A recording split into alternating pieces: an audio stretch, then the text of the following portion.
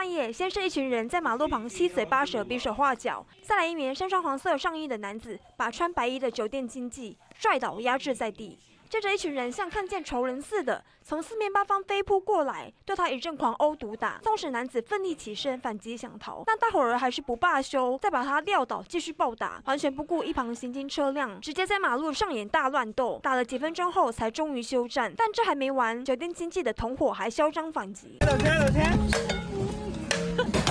怒砸水缸恨铁姐们，酒店经济这边怀疑是一名角头所为，派出球棒队前往对方公司砸店泄愤。